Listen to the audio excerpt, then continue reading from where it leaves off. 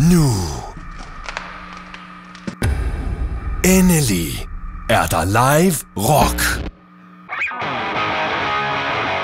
Green Days musical American Idiot spiller på Østergasværk Teater fra den 26. juni.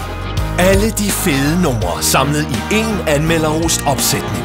Med stort liveband og den vildeste scenografi.